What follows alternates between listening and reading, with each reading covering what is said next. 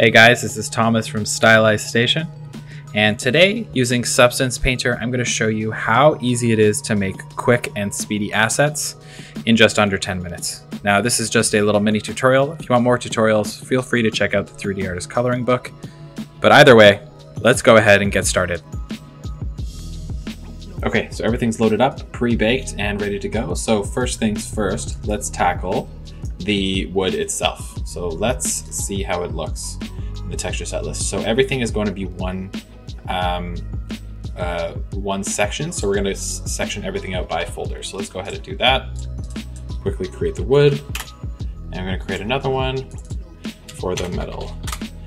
And the wood, we're going to add a fill layer. Change the roughness up a little bit so we got a nice stylized look. And let's get the base color into a nice brown a bit more red in it, something like that.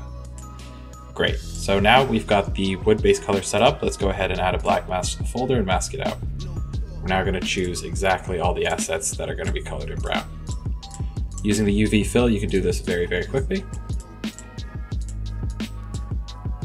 Let's get each side. And the lighting's a little harsh because I'm using studio lighting, so we can always soften that up later.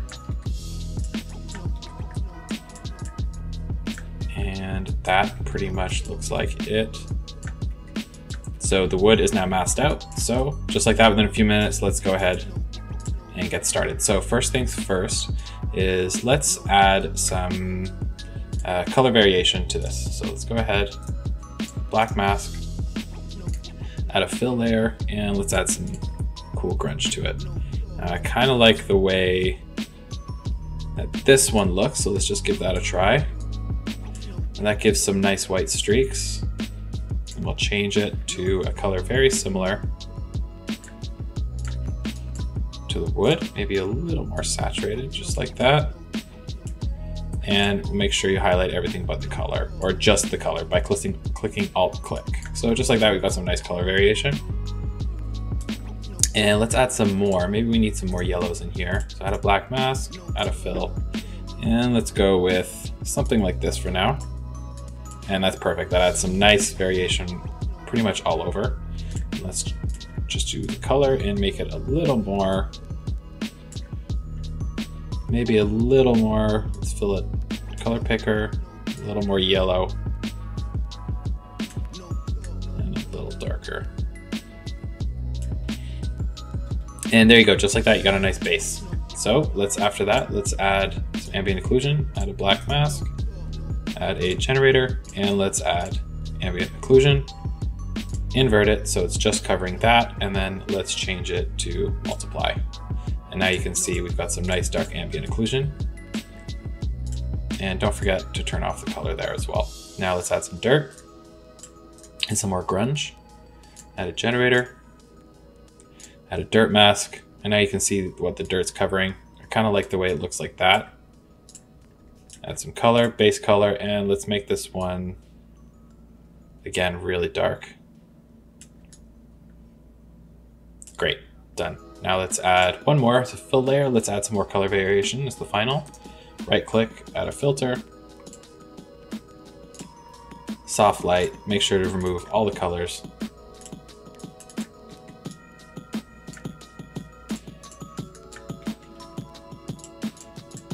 And that adds some nice color variation.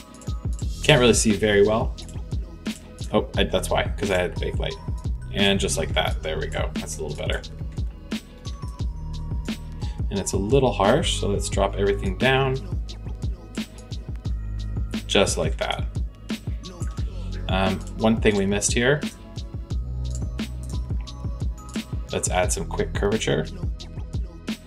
And the reason we're gonna add some curvature is because wood at the edges is always nice and worn out. So you may have missed what I just did, but black mask and then add a curvature generator, nice and quick. And then we can choose a nice light color without even really editing the mask itself because I kind of like the way this looks. So let's go into this brown and desaturate it even more, just like that. And if you want to adjust the color, make it a little more red, a little more yellow, do whatever you want to do. I kind of like the way that looks just like that. And we've got some nice greens, yellows, browns, and whites in there as well. So that's pretty much wood, nice and quick. So let's go ahead and do the metal.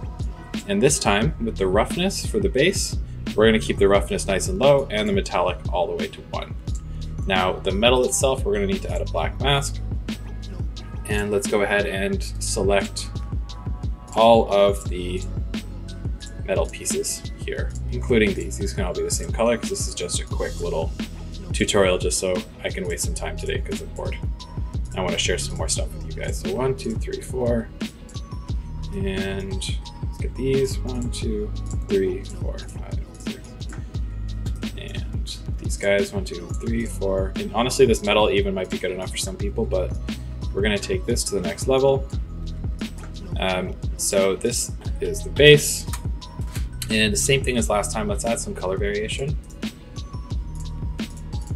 Add a fill and let's add some, we can do some Perlin. And let's randomize it a little bit and change the color. And make sure the roughness and metallic is all the way to one. And for this, the base color, let's just lower the roughness slightly because it's nice to have that roughness variation on there. And then maybe we can add some blue because steel always looks good when it's got a little bit of blue tint in there, just like that. So it's not perfect and you can mess around with grunge maps, but that's a good start for now, just for a little demonstration. Let's go ahead and add a black mask and add some ambient occlusion as well. Add some, where are you, ambient occlusion. Invert it. So you can see it's just starting to fill in the white edges, and now we'll make it nice and dark by just adding a multiply just like that. And you can increase the roughness all the way. And since it's metallic, you can drop it, drop the color quite a bit. And up the metallic colors there. Great, pretty simple. Again, if you want to add some dirt, it's a good way to add some roughness variation as well. So let's add some dirt, add a black mask, and let's add a dirt generator. And this is always good to use, especially on metal, because dirt on the roughness um, or dirt on metal pieces is always a much higher roughness. So it's going to add some nice color variation. So let's go ahead and add a bit of rust. And it's always good that the rust and dirt is a little bit red. Again, for some more color variation. If you want to see how it looks a little better, change it from 1024 to 228. Now we've got some nice detail on here. Some really awesome detail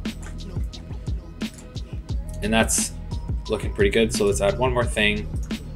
Let's add a baked lighting filter, just like the last one, and turn this to soft light.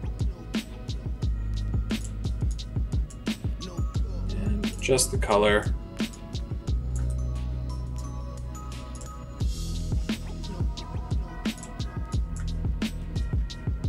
Since it's a little high to me, I could drop that a little bit. And that looks pretty good to me.